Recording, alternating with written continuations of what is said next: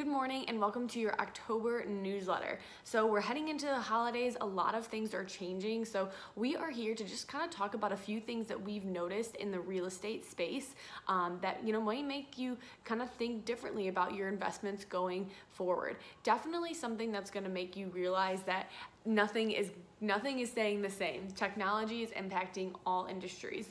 Um, we're Chicago based, and in Chicago, Elon Musk and um, Rahm Emanuel did just announce the train in the tunnel that's going to take you from O'Hare to the Loop in a flash. So definitely a big impact on Chicago, and we're excited about that. So some things that we're seeing specifically in real estate is parking lots um, and banks. Those are two really big ones with autonomous vehicles being in the works everywhere before we know it, we're not gonna need these massive parking parking lots that was a great investment in the past. So we're gonna have to be thinking differently in terms of how we want to invest if that's something that we invested in in the past.